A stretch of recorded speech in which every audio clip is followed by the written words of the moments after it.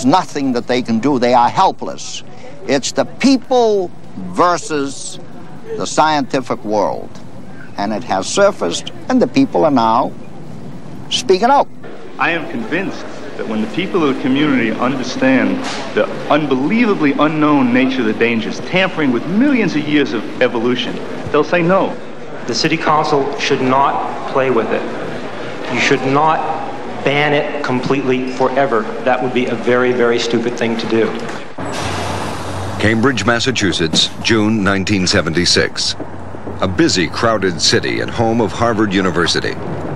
The City Council is about to take action that will stun the world of science. It asks Harvard not to begin a new type of research until the Council has decided whether or not to ban it completely. The research planned for this laboratory involves the engineering of genes. Once, once, upon a time ago. In Cambridge, the debate over the new experiments has spilled into the streets. We, Science for the People, are here to try to bring the issues of this controversy to the public, to the people, because the people are at risk and are at benefit from the experiments that are being done with recombinant DNA. The idea of genetic engineering going on in his city horrifies Cambridge Mayor Alfred Vellucci. I'm worried about all the uh, presentations that were made by uh, scientists be at the city council meeting. It was stated in the city council that anything could come out. In fact, they don't even know what, what's going to eventually come out of this experimentation. It could be anything. It could be um, uh, contamination, infections, something that could crawl out of the laboratory, such as a Frankenstein. The feeling has been generated that we want to work in a laboratory with things known to be dangerous. That's not at all the case. Nothing we plan to work with is known to be dangerous. Now, as to the unknown, one can do one's best about trying to figure out what might lie ahead, but research deals with the unknown. This film will show how scientists and the public are trying to come to terms with a dramatic new technique. A technique that gives scientists unprecedented power to manipulate nature. But it was devised to help understand nature, to unlock a secret that has remained inviolate since life began. How a simple acorn becomes a mighty oak.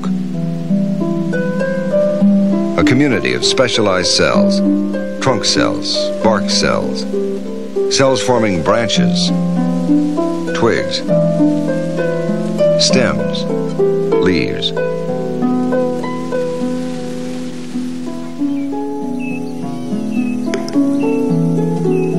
How a human being inheriting a set of genetic instructions from its father and mother can develop from a single egg cell into a baby. Every cell of the billions that make up this six week old girl contains the same set of genes. Yet in the process of development before birth, her cells went their separate ways. Somehow different genes were switched on in the different cells, making them skin cells, nail cells, cells of eyes, mouth, and hair. How these genetic switches work in a creature as complex as a human being is a total mystery. Perhaps the most intriguing mystery facing scientists today. The genes of this creature are better understood. A bacterium that lives in the human gut. It's called Escherichia coli, E. coli for short. It's the most studied organism on Earth, in part because it's so cooperative. A single E. coli in a drop of water will multiply itself enormously if given a few simple chemicals to eat and if it's kept warm and gently shaken. In a day, the original bacterium can become 100 billion.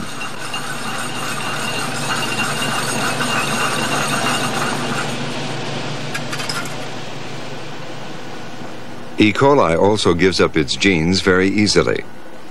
Detergent bursts open the microbes, spilling out their genetic material.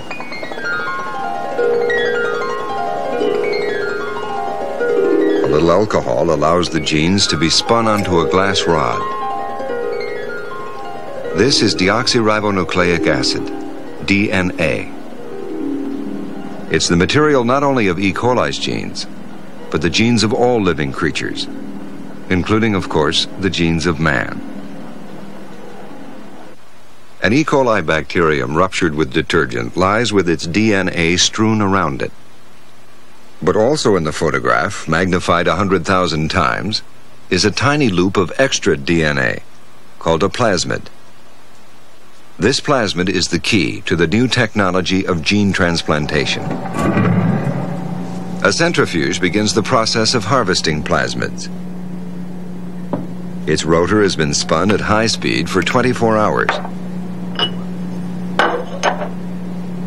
In it are tubes containing the DNA from ruptured E. coli.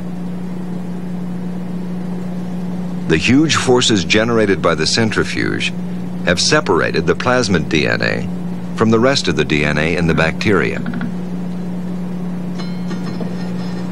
Under ultraviolet light, a dye makes the two separated bands of DNA glow visibly. A hypodermic needle pushed through the wall of the plastic tube then draws off the plasmid band.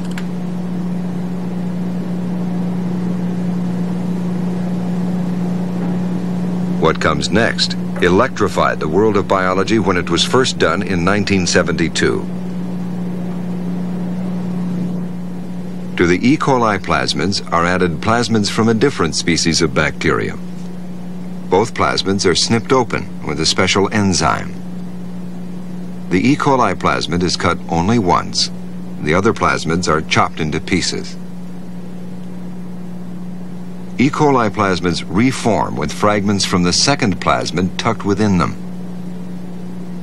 The result is a few hybrid plasmids made of the recombined DNA of two different species of bacteria.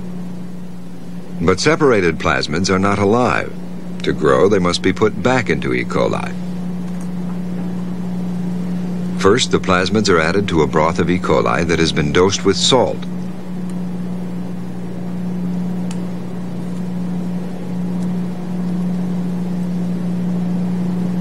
These key steps in the experiment were devised by Annie Chang and Stanley Cohen in their laboratory at Stanford University. The mixture of salty bacteria and plasmids is then taken from ice and put into warm water. The salt and the sudden rise in temperature make the bacteria porous, allowing the plasmids to slip inside. The few bacteria that have swallowed recombinant plasmids now contain the transplanted genes of a different species of microbe. They can be picked out and allowed to multiply. With this experiment, man had broken nature's barrier that prevents different species from exchanging genes. Stanley Cohen. It was a very exciting time in the lab because before we did these experiments, we had no assurance that we would be able to take genes from a totally unrelated organism and be able to transplant them into E. coli. And when we found that we could and that they would survive and grow there, we thought that maybe we could even transplant genes from a even more distantly related organism, namely an animal cell, uh, into E. coli, and perhaps they would also survive and grow. A South African frog provided a suitable gene for transplantation. What should one expect of an E. coli with a frog gene transplant? Collaborating in the experiment, John Morrow. Well, we did not expect the bacteria to hop around the lab or turn green uh, like frogs. But we did hope that we would be able to transfer DNA across a very large species barrier. In fact, from one kingdom to another, from an animal to a bacterium. And we hoped that after we transferred the DNA that it would multiply in the bacteria and the bacteria would be uh, like little factories for us producing a large amount of this desired gene. The frog gene transplant worked. These are E. coli dividing and multiplying, speeded up about a thousand times. With every division, they copy their own DNA and also the frog gene carried by the recombinant plasmid. In a day or so, they make large quantities of the frog gene. The experiment opened the way to manufacturing the purified genes of any animal, an essential first step in finding out how they work. These silkworms provide one example of how the new technology allows John Morrow to study a specific gene. Silkworms spend six weeks munching mulberry leaves and doing little else. But one day there's a change. They stop eating and start spinning. Their silk gene has been switched on.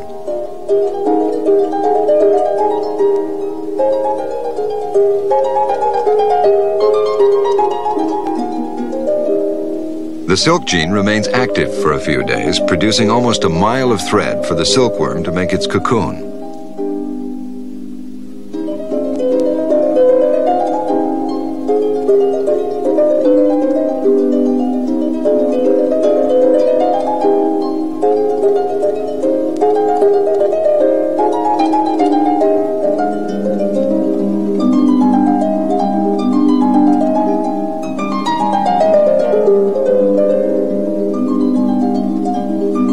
As suddenly as it was switched on, the silk gene shuts off. The silkworm, as it becomes a moth, has no more need of it.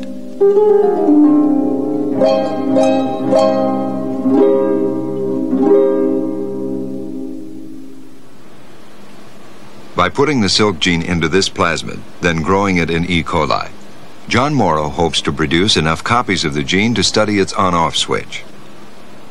Other biologists had the same idea of using the plasmid to produce large amounts of genes they were interested in. Stanley Cohen started to hear from them and began to get a little worried. Even before the first experiments were published, word of the ability to transplant genes into E. coli began to get around among the scientific community. And at that time, the plasmid we used was the only one known to be usable for these kinds of experiments. And we began to get letters from our scientific colleagues who wanted to use the plasmid in their own experiments. We were concerned that some of the uses that they might make might be potentially hazardous. So before agreeing to send out his plasmid, Cohen asked that its use be limited. He felt uncomfortable in this role as a self-appointed policeman. But his discomfort was minor compared to the experience that was about to befall another Stanford researcher. Yeah. yeah. Well, that's an interesting one. Paul Berg studies viruses that cause cancer in animals. In 1973, he planned to transplant the genes of an animal cancer virus into E. coli to help find out how the genes work. Word of his intentions spread. The first news that I ever received of anybody being uh, upset about the experiments we had in progress was a telephone call from one of my students who was attending a conference at Cold Spring Harbor. And she told me that in the course of the discussions there, she had mentioned the experiment that we intended to do and received uh, rather severe criticism from a number of people. And she called me to relay this criticism and asked me what I thought about it. My initial reaction was, first of all, surprise, and then as I thought about it a bit, I thought it was even more outrageous than my initial reaction. But Berg's sense of outrage that anyone should consider his experiment hazardous diminished as he spoke to colleagues at Stanford and elsewhere. His own doubts began to increase. And although it was clear there was no hard data which could establish that it would be risky, nevertheless, I couldn't convince myself that it was totally without any risk.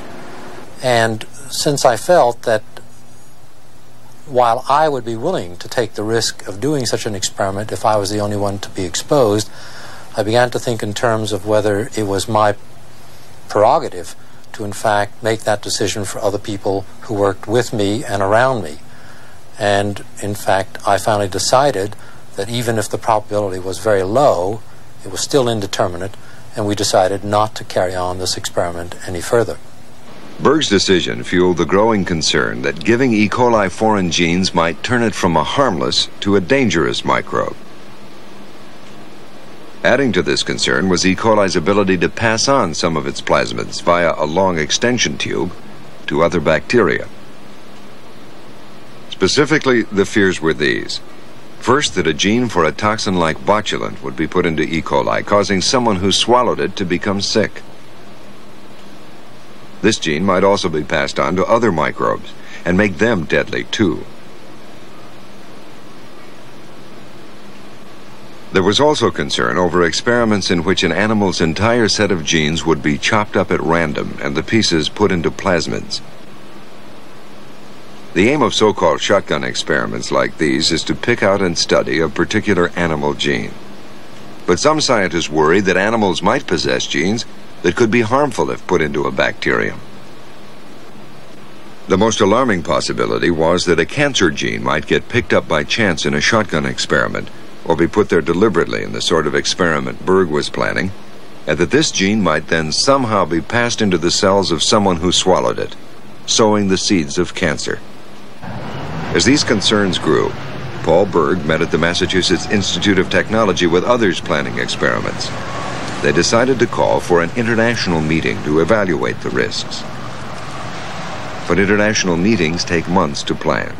At the pace at which various laboratories were undertaking experiments, we realized that many of the experiments we were most concerned about would probably be done by the time the meeting was convened.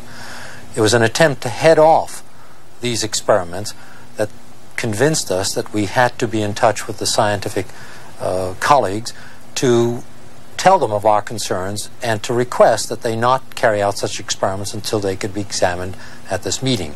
The group published an open letter calling for a voluntary deferral on many recombinant experiments and a go slow on others.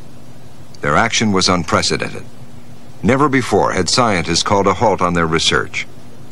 It was eight months later at Asilomar on the California coast that the international meeting was finally convened. During those months, the moratorium held, even though many scientists, especially those outside the United States, considered the idea ridiculous. 130 scientists, a few lawyers, and a small contingent from the press met together at Asilomar for three days.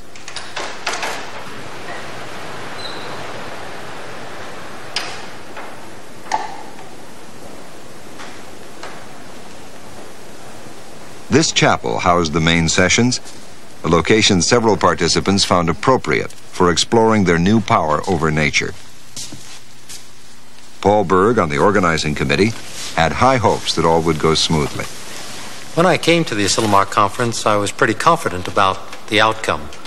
We'd worked very hard to prepare the format for the meeting, and I had a reasonable expectation of what the meeting would decide upon.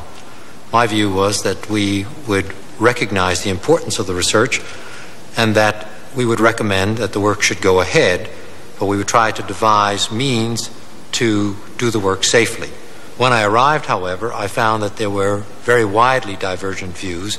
There were those who felt that the research was much too dangerous to proceed and that we should not carry out such experiments in the laboratories of universities and institutes. But there was also a very large segment of the population here who felt that the research should proceed and there was little or no risk, and that the imposition of any guidelines would be a disastrous step. I thought that we would be able to resolve those opposing views during the course of the meeting, but as it proceeded, it became clear that they almost seemed irreconcilable. And about halfway through the meeting, I had this sudden fear that we would break up at the time that we had designated without having arrived at any consensus and leave ourselves open to the possibility of having regulations imposed on us for the conduct of such research. In the breaks between sessions, the arguments went on.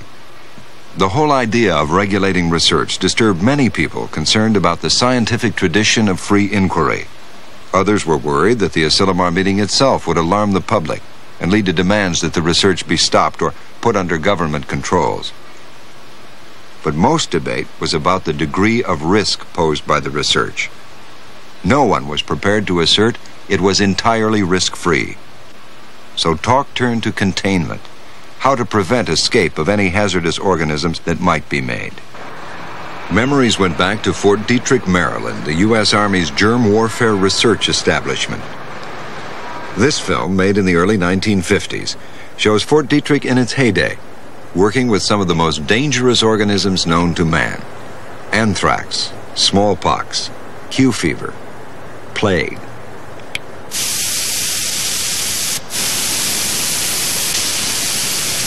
Volunteers were routinely exposed to aerosols of less dangerous organisms generated inside a huge sphere. Today, the sphere is a victim of a recent fire. All germ warfare work at Fort Detrick was abandoned in 1969 with the signing of an international treaty outlawing biological weapons.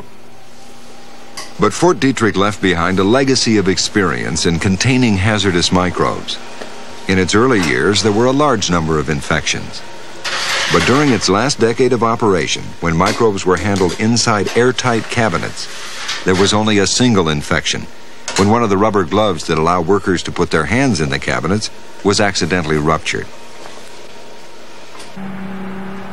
Fort Detrick has other barriers against the escape of microorganisms. A special sewage plant that heats all liquids to 300 degrees. A huge incinerator for burning all solid wastes. So microbes can be contained, but the effort makes research cumbersome and very expensive. There are alternative and simpler ways of containing microbes. One already in widespread use is a special hood that maintains a continuous downdraft of filtered air. And when it is switched on, creates a curtain of air across its mouth, preventing microbes from escaping. But to use it, the operator has to put his hands inside. And if something goes wrong with the airflow, as in this demonstration, then the draft caused by someone walking by can allow microbes to leak out. So hoods like this are not infallible. And there was something else on the minds of the scientists at Asilomar. The people who work in a normal biology laboratory treat E. coli as the harmless microbe they know it to be, creating endless opportunities for its escape. This more than usually clumsy experimenter is a member of the NOVA film crew. But the mistakes he is making are typical. Careless mouth pipetting.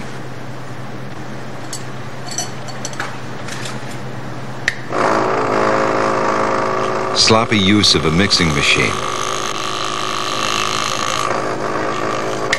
Pouring billions of microbes down the drains. People are the weak link in any containment system. And what if the microbe they work with isn't as harmless as they think? In August 1976, a mystery disease struck the American Legion Convention in Philadelphia, meeting in the now closed Bellevue Stratford Hotel. 180 Legionnaires became sick, and 29 died. Early in the investigation, experts feared the disease might remain a mystery. There's an outside chance that we may never find out what has been the cause of this. I think we will. But uh, there are times uh, when uh, uh diseases baffle uh, all of us.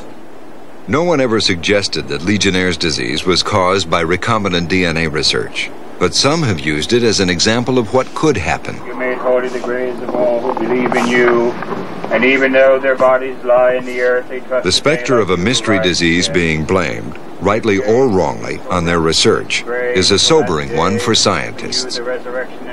Long before Philadelphia, this fear was raised at Asilomar by a man who has since become the most prominent critic of the research. At the California Institute of Technology, Robert Sinsheimer.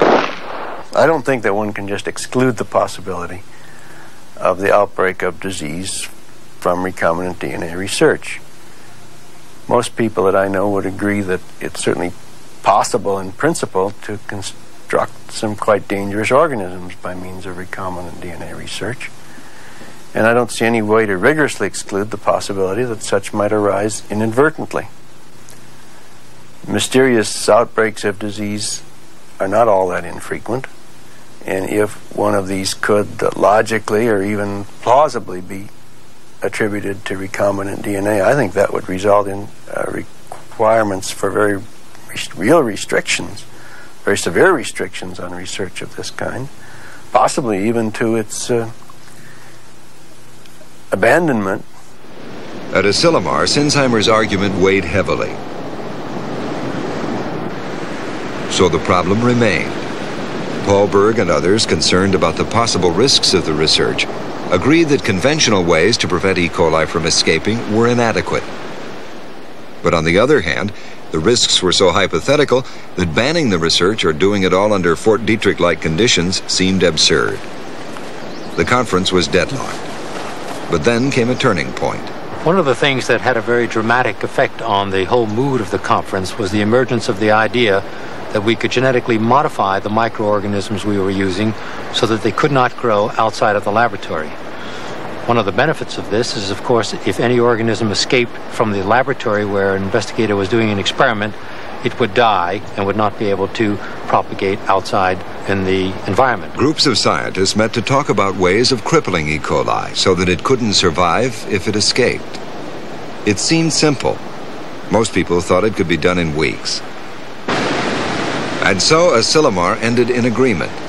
The voluntary moratorium would last another month or two until the crippled E. coli became available.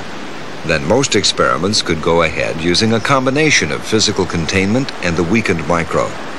The most dangerous experiments would remain banned. The Asilomar Agreement was unique in science, but it was by no means the end of the story.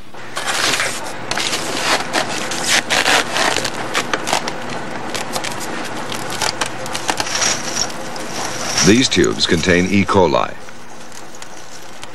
They're the starting point of the search that began at Asilomar for a crippled microbe. At the University of Alabama Medical School, Roy Curtiss has devised hundreds of different strains of E. coli with particular properties that make them useful for research. Here, he is transferring some E. coli taken from the freezer into a liquid where they can grow.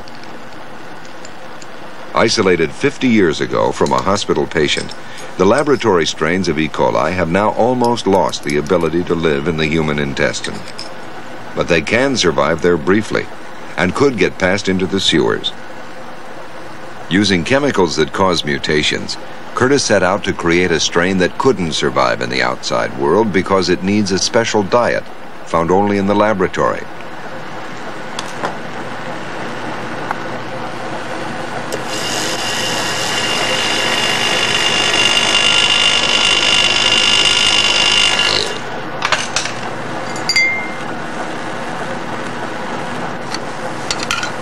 Unfortunately for people waiting to begin recombinant DNA experiments, E. coli was uncooperative. When spread on nutrient plates and kept warm overnight, normal E. coli will grow into small colonies that appear like spots on the plate. Fed its special diet, the crippled E. coli grew as expected. The unpleasant surprise was that somehow it still formed colonies, although rather abnormal ones, when it wasn't fed its special diet. Suddenly, making a crippled E. coli didn't seem as easy as it had at Asilomar. Several months after Asilomar, our telephone began to ring. People wanted to know, how you coming, Roy? How's the safe strain?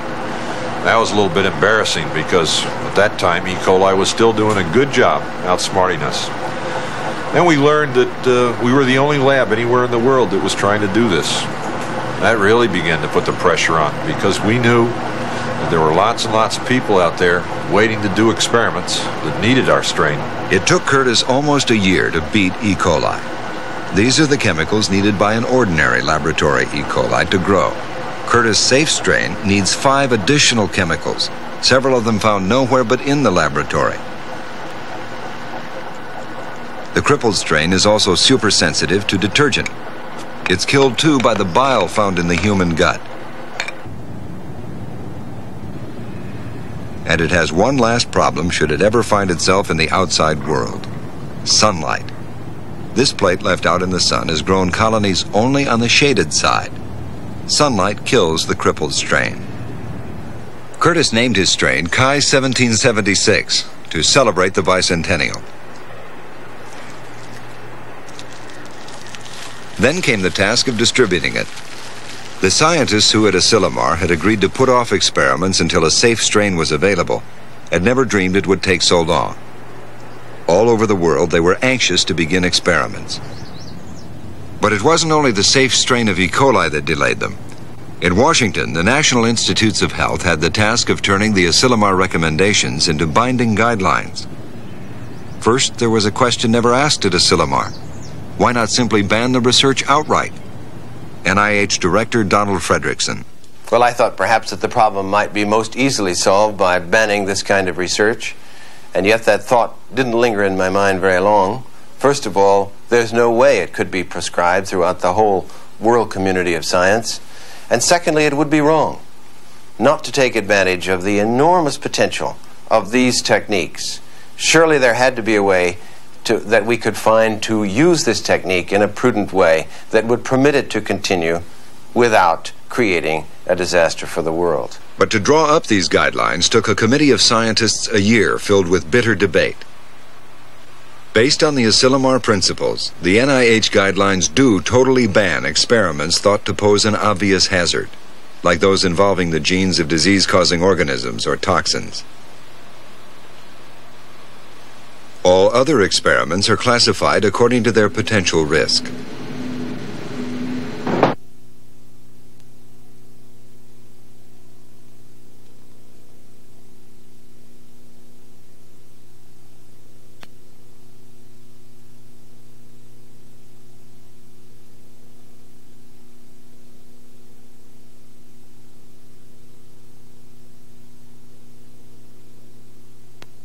This laboratory at Fort Detrick is an example of the conditions required for work of the highest potential risk allowed by the guidelines.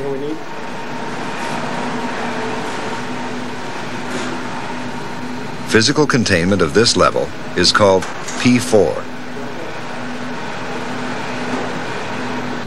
Because it is so difficult to assess unknown dangers, the Guidelines Committee had to make some assumptions they decided that the potential risk of an experiment depends on the source of the gene being transplanted.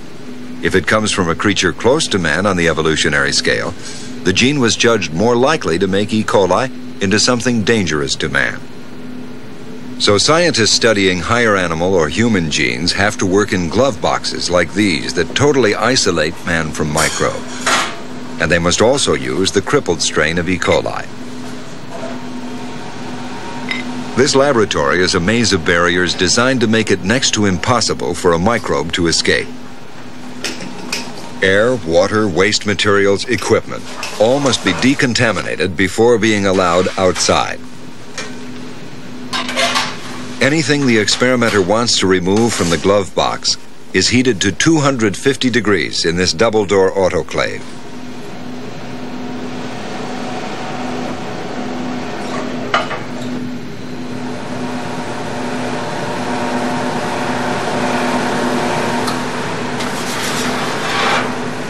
Then it's sterilized again before being taken out of the building.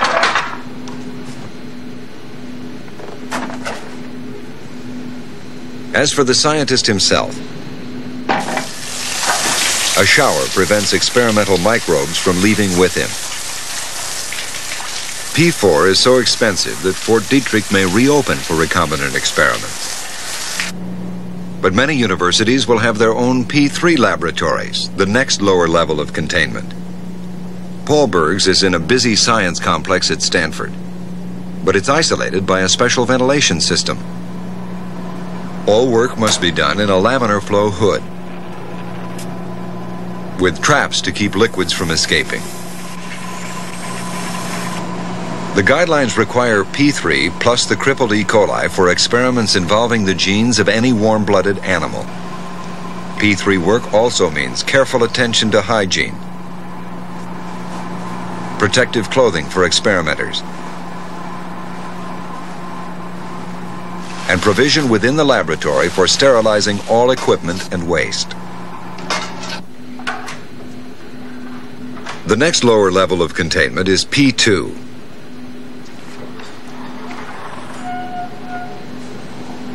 As with P3 and P4, NOVA could not have filmed this P2 laboratory at Harvard Medical School if an actual recombination experiment were taking place.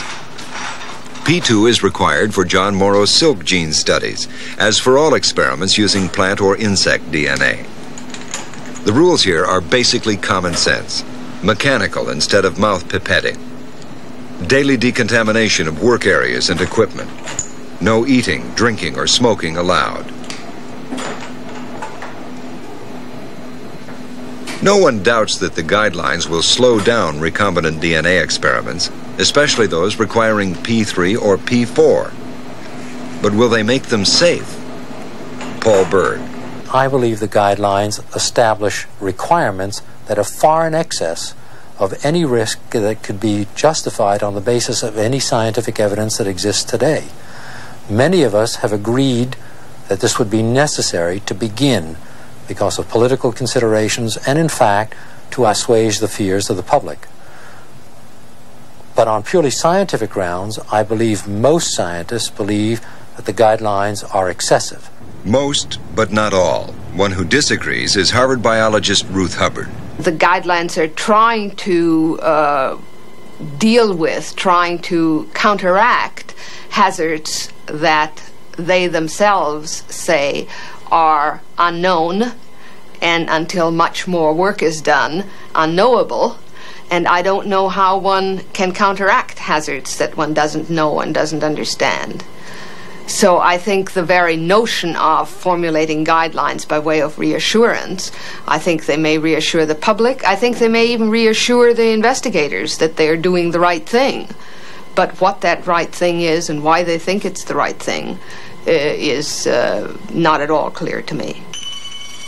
Whatever one's opinion of the guidelines, the chance of an E. coli with foreign genes escaping cannot be totally ruled out. No one claims the guidelines are infallible. So could an escaping recombinant microbe sweep through the population? NOVA could find no expert in infectious diseases who considered this a realistic possibility. And even the minority of scientists who oppose the research do not predict raging epidemics. But some foresee other sinister consequences. What we're going to get or what we might well get is just a lot of mystery diseases cropping up in a lot of different places, uh, conceivably or quite possibly cancers and things like that cropping up that have an enormous lead time 15, 20 years, so that it'd be essentially impossible to ever track them back. And maybe looking back over this period, 30, 40 years hence, one will be able to say, oh, yeah, something strange and different seems to have happened in the year 1975 or 1976. Because from then on, things look uh, different in the pattern of, of disease incidents and so on. And that's what worries me more than that we're going to produce one huge pandemic that's going to wipe us all out overnight. Cancer is the most ugly scenario. And to test it, this mobile P4 laboratory, built originally to study deadly infectious diseases, is being refitted and installed at the National Institutes of Health. In this high containment trailer, scientists will dose rats with E. coli containing cancer genes. If the rats develop tumors, it will mean that the genes carried by E. coli can find their way into the cells of animals and so perhaps of people. If the rats don't develop tumors, fears like Ruth Hubbard's would be reduced. Unfortunately, this single experiment isn't likely to give us a clear cut answer, and other experiments are now being planned. Meanwhile, recombinant DNA research is getting underway. E. coli carrying foreign genes could, by accident, be reaching the sewers and from there leaking into the environment.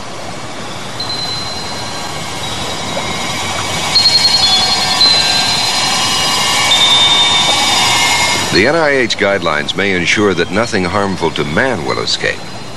But what about the rest of nature? Robert Sinsheimer. There's a rather novel aspect to the hazard here that we're dealing with living organisms. And so that what we do may well be irreversible. As when such organisms are released into the environment, there's no simple way to just recall them or cease their manufacture. Some might inadvertently be harmful. Not necessarily directly to man, but to other organisms on whose function we rely directly or indirectly. I think it's very, very difficult for us to predict that possibility. In effect, we are introducing organisms developed by a whole new mechanism, sort of like introducing a quantum step into evolution. And I don't believe we have the knowledge to predict the outcome. Sinsheimer believes that the very act of mixing the genes of animals and bacteria breaches some forbidden barrier in nature, an idea that receives little support from other biologists. Sinsheimer has a very personal view of the nature of the risks involved in recombinant DNA research. He imagines that there's a barrier that prevents the interchange of genetic material between simple forms of life and higher organisms. If you accept his view, that that barrier dare not be breached without causing very extreme consequences in evolution, then the guidelines would be senseless. That is, it doesn't make any sense to rank experiments in terms of their potential risk if you assume that any of these experiments are risky. But as far as I know, most experiments, most scientists do not acknowledge the existence of such a barrier, and there is no evidence to support such a barrier. With scientists clashing like this, how does the man in the street know what to believe? How does a community like Cambridge, faced with expert opinion on each side, cope with the issues raised by recombinant DNA research? It wasn't hard for Mayor Alfred Vellucci to make up his mind. Scientists are disagreeing with one another. Nobel Prize winners are disagreeing with Nobel Prize winners. And since they can't uh, agree uh, that leaves it up to me as a layman to decide. And since I'm going to have to decide, then I'm going to have to take the side of those that disagree. They uh, maintain that it is not a 100% guarantee um, and uh, since they take the stand that it's not 100% guarantee, and since the scientists who are favoring this agree that it's not 100%, that it is impossible to guarantee 100%, then I have to be the common man who has to say that uh, if it is not 100%, then I will have to take the stand to be opposed, to oppose any of this kind of dangerous experimentation in the city of Cambridge. Recombinant DNA research became a public issue in Cambridge because of plans to construct a P3 facility in this building, the biological laboratories of Harvard University.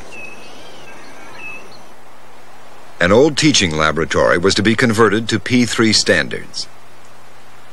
An article about the plan caught Mayor Vellucci's eye, and the debate went public. When the City Council held hearings to examine the plan, Harvard scientists found themselves put on the spot. Now, you made the statement there's no known dangerous organism has ever been produced by a recombinant DNA experiment. Yes. Now, just what the hell do you think you're going to do if you do produce one? Asking the embarrassing question was David Clem, a young city councilor who spent weeks going back over the hearing to find some way to cope with the issue. Well, I tried to break down the issue into two facets. One is the scientific element, which is the potential of risk, how you define that risk, what the dangers could be. I discovered very early on that I am not technically capable uh, or able to evaluate the element of scientific risk. So I looked at the other facet, which is the process that was used in establishing guidelines to control uh, for danger. And I think, as a layperson, that I am able to come to grips with that process. Clem's view that a choice can be made on non technical grounds was shared by a group of radical scientists. It's not so much the technical issue of whether things are dangerous or not as a, as a fairly more obvious political issue that looking at how decisions have been made and who's been making them and who's decided what's safe and what isn't, if you look at that closely, you really wonder what's going on. Donald Fredrickson of the National Institutes of Health did try to involve the public in his decision by holding a hearing before issuing the guidelines. But the fact remains that the guidelines were written by scientists themselves the concept of scientists developing their own guidelines to do their own work under bothers me. I raised the issue with the representative from NIH whether or not she believed in civilian control of the military. And to me, that's the point. We don't want generals running the military any more than we want the automobile industry establishing pollution control standards or safety standards. And I don't think we want the scientists designing their own rules of the game. Is there any choice when dealing with complex scientific issues? At Cambridge City Hospital, a committee of laypeople met weekly for four months, appointed by the City Council to recommend whether or not P3 research should be allowed. Meanwhile, Cambridge scientists agreed to a moratorium. I cannot. Today, the group is hearing from Harvard's Matt Meselson. Disprove it, but everything I know about microbiology, evolution, infectious disease makes me confident that there is no hazard. This group of eight lay people focused on the risks of the research as they might affect the citizens of Cambridge. But in the national debate, there are also potential benefits to be considered. Washington attorney Peter Hutt. The real issue here, from a public policy standpoint, is to balance, on the one hand, the benefit that can be obtained from recombinant DNA research against the risk that is inherent in any research or indeed in any human endeavor. Now, I am not a scientist, I'm not a physician, but I see no one who has argued with the basic proposition that the potential benefit to mankind is enormous. Many of these potential benefits are medical. These are cancer cells growing uncontrollably. Probably something has gone wrong with their gene switches, and recombinant DNA technology offers one of the best routes to finding out where the error might be. Other potential benefits are in the drug industry.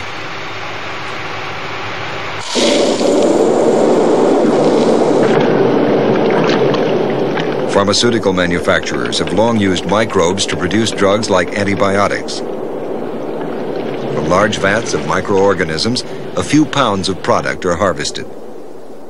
But microbes can make only what their natural genes specify. If other genes could be transplanted into them, their range of products might be greatly extended. Insulin, for example, today comes from pigs and is growing scarce. If the gene for human insulin could be transferred to E. coli, then the microbes would provide diabetics with a new source of insulin for their daily injections. Other life-giving molecules are in even shorter supply. One is needed by patients with hemophilia, whose blood lacks a factor that allows it to clot properly. Children with hemophilia must guard against cuts and bruises, and even then often suffer internal bleeding in their joints. The missing clotting factor can be supplied, but it is scarce and very expensive. E. coli that could make human clotting factor would provide enough for many more patients that are now able to receive it. Another chemical that's growing expensive on a very different scale is ammonia. Ammonia is the main source of the nitrogen needed by most staple crops.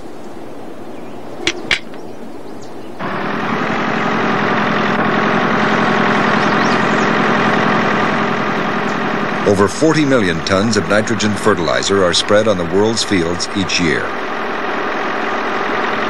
Manufacturing fertilizer is an expensive business. The nitrogen comes from the air, but fixing it into a usable form takes high temperatures and pressures and an increasingly scarce resource, natural gas. Beans, like the soybean, can fix nitrogen for nothing. Their secret is in the nodules that cluster on their roots. Inside the nodules are bacteria that can take nitrogen from the air and supply it to the bean. Staple crops like wheat don't harbor those helpful nitrogen-fixing microbes. So scientists hope to use recombinant DNA technology to tailor-make nitrogen-fixing bacteria that can live in the roots of crops. Another idea is to transplant genes from nitrogen-fixing bacteria directly into a crop plant like corn so that the plants themselves can pull all the nitrogen they need from the air around them. The benefits of genetic engineering lie in the future, but their appeal for industry creates an immediate problem of control. The NIH guidelines apply only to researchers receiving NIH grants. Senator Edward Kennedy is among those concerned that industrial research isn't covered by the guidelines. If uh, this, this research is being done now in, in industry, uh, in, in various parts of this country that are not complying with the NIH guidelines, I mean, could that not be an, an ominous situation? Well, it's very probable, Mr. Chairman, although I cannot tell you from certain knowledge, it's very probable that the precautions being taken by industry where it may be engaged in this may be every bit as stringent as the as the but NIH. You don't know that, though. I don't know that. Despite assurances from industry that it will comply, pressure is growing to turn the NIH guidelines into binding legislation. But over all the debate about the safety and control of recombinant DNA research has hung another, very different concern. That one day it will lead to the genetic engineering of humans. I think people are worried about more than the danger to the public health and environment. They're worried about the question of genetic engineering. There's a feeling that this type of research is a giant step in the direction of being forced to deal with questions that we just don't have answers for. The future of the species, the type of children we will have, the type of children we won't have. The people feel that this type of research is really taking us down that road very quickly. And although that issue hasn't been stated, I think it's very much in the public's mind. I think that the public fear of genetic engineering, in the sense that they understand it as a power or some dreadful capacity to change the nature of man, has entered, unfortunately, into this controversy and in an unreasonable way. For surely these techniques are not at the present time designed to change human genetic material at all. Perhaps they might be used for that purpose in the future, but that's a long way off as I see it, and a matter which the public will have ample opportunity to control when the time comes. We don't know whether recombinant DNA technology will lead to the ability to change human genes. It very well might. One thing we can be confident of, I think, is that ability will come. I don't think it's uh, just uh, near nearby. It won't be next week. It won't be for many years, so far as I can see. But I think we can be pretty confident that as as science moves ahead, that we will come to understand so much about fundamental biology that we will, yes, be able to change uh, human genes, change what people are. The question is, how will it be used to change what people are?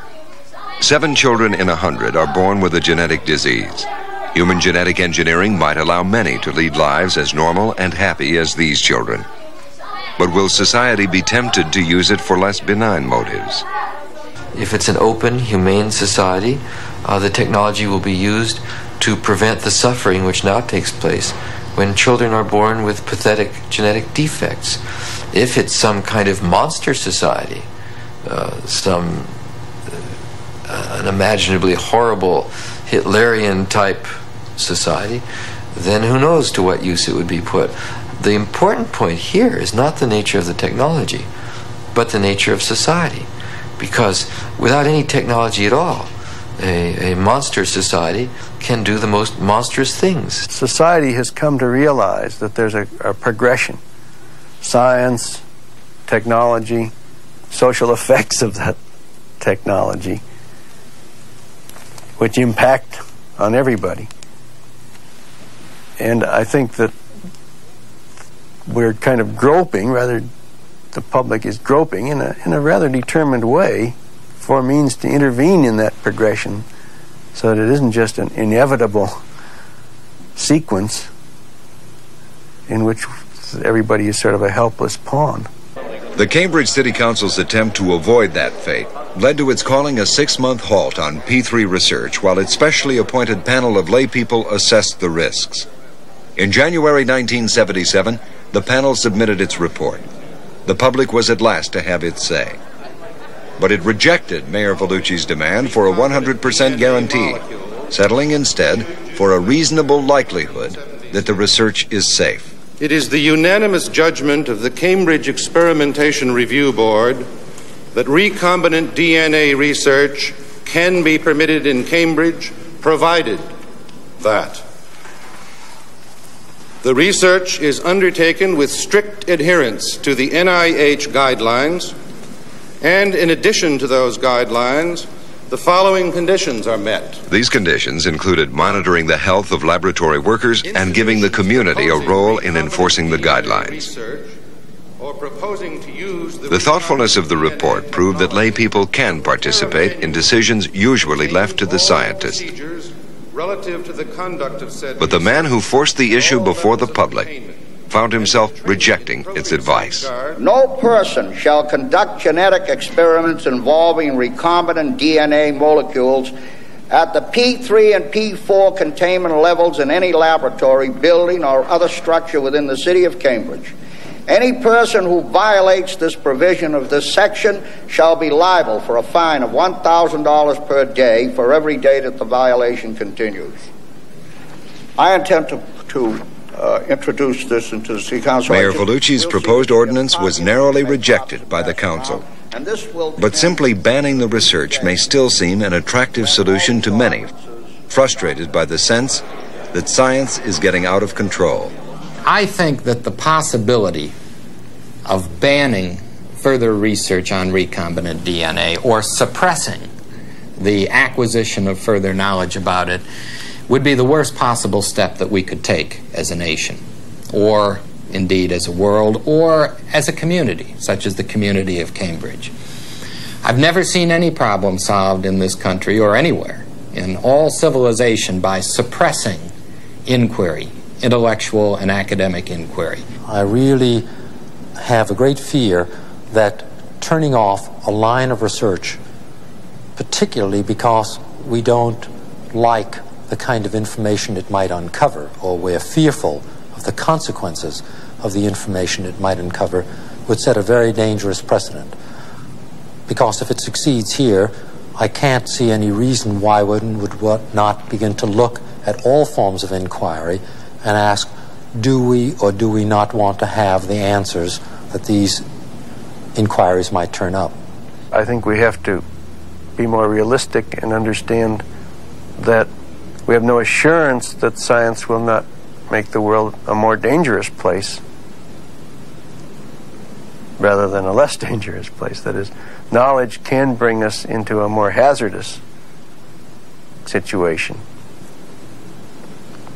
That still doesn't mean, to my mind, that we shouldn't acquire knowledge. But I think we have to be more careful both how we acquire it and how we use it.